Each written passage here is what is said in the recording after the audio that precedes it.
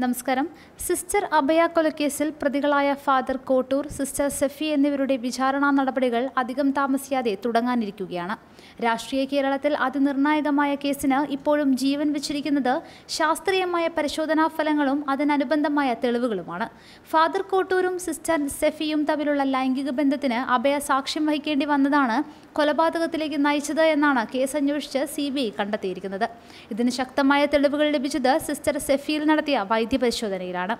കേസിൽ നിന്നും രക്ഷപ്പെടാൻ താൻ കന്യകയാണെന്ന് സ്ഥാപിക്കുക മാത്രമായിരുന്നു സെഫിക്ക് മുന്നിലുണ്ടായിരുന്ന പോംവഴി ഇത് മനസ്സിലാക്കിയാണ് അവർ കന്യാചർമ്മം വച്ചുപിടിപ്പിക്കാൻ ഹൈമനോപ്ലാസ്റ്റിക് സർജറി നടത്തിയിരുന്നത്. രണ്ടായിരത്തി എട്ട് നവംബറിൽ സെഫിയെ സി ബി ഐ അറസ്റ്റ് ചെയ്യുമ്പോൾ നടത്തിയ വൈദ്യപരിശോധനയാണ് കേസിന്റെ ഗതി നിർണയിച്ചത് സെഫിയെ നാർക്കോ അനാലിസിസിന് വിധേയയാക്കിയ ഘട്ടത്തിലാണ് കേസ് അട്ടിമറിക്കാൻ ഇവർ കന്യാചർമ്മം വെച്ചുപിടിപ്പിച്ചു എന്ന സൂചന ലഭിച്ചത്. ഇതിനുശേഷമാണ് സെഫിയെ സി ബി ഐ അറസ്റ്റ് ചെയ്തത്. ഈ ഘട്ടത്തിൽ ആലപ്പുഴ മെഡിക്കൽ കോളേജിലാണ് വൈദ്യപരിശോധന നടത്തിയത്. ഡോക്ടർ രമയുടെ നേതൃത്വത്തിലുള്ള സംഘമാണ് അന്ന് പരിശോധന നടത്തിയത്. പോലീസ് സർജനടക്കം വിശദമായി പരിശോധിച്ചപ്പോൾ സെഫി കന്യകയല്ലെന്ന് വ്യക്തമാക്കുകയായിരുന്നു. ഇക്കാര്യം സി ബി ഡിവൈഎസ്പി സുരേന്ദ്രനെ അറിയിച്ചു. സെഫിയുടെ മാറിട പരിശോധന നടത്തിയപ്പോഴും അതും ലൈംഗിക ബന്ധം സ്ഥിരീകരിക്കുന്ന വിധത്തിലുള്ള വിവരങ്ങളാണ് ലഭിച്ചത്. അതേസമയം സെഫി കന്യാചർമ്മം വെച്ചുപിടിപ്പിച്ചത് എവിടെ നിന്നാണെന്ന കാര്യം ഇപ്പോഴും ദുരൂഹമായി തുടരുകയാണ്. ഇതേക്കുറിച്ച് സി ബി ഐ നിരന്തരം ചോദ്യം ചെയ്തപ്പോഴും ഒന്നും തുറന്നു പറയാൻ അഭയ കേസിലെ മൂന്നാം പ്രതിയായ കന്യാസ്ത്രീ തയ്യാറായിരുന്നില്ല.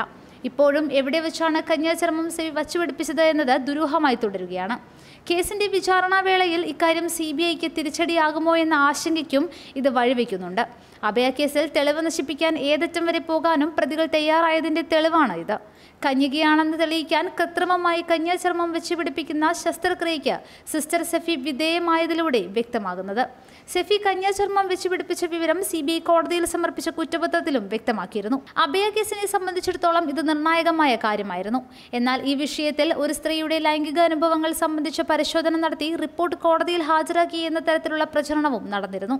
ഒരു കന്യാസ്ത്രീയുടെ കന്യകാത്വം നഷ്ടപ്പെടുന്നത് എങ്ങനെയാണ് എന്ന ചോദ്യത്തിന്റെ ഉത്തരം ഈ കേസിൽ നിർണായകമാവുകയായിരുന്നു. ഫാദർ തോമസ് കോട്ടൂരുമായി ആത്മബന്ധമുണ്ടായിരുന്ന സെഫി തോമസ് കുട്ടിയെന്നാണ് വികാരിയെ വിളിച്ചിരുന്നത്. അഭയയെ കൊലപ്പെടുത്താൻ മോട്ടീവായ കാര്യം നിഷേധിക്കുന്നതിനായാണ് കന്യാചർമ്മം കൃത്രിമമായി വച്ചുപിടിപ്പിച്ചതിലൂടെ സെഫി ശ്രമിച്ചത്. സെഫിയെയും കോട്ടൂരിനെയും സഹായിക്കാൻ അന്ന് കത്തോലിക്ക സഭയിലെ പ്രമുഖരും രംഗത്തുണ്ടായിരുന്നു. ഈ കേസിലെ വിവരങ്ങൾ ഇപ്പോഴും ചർച്ചകളിൽ നിറയുമ്പോൾ സഭയ്ക്കും നാണക്കേടുണ്ടാകുകയാണ്.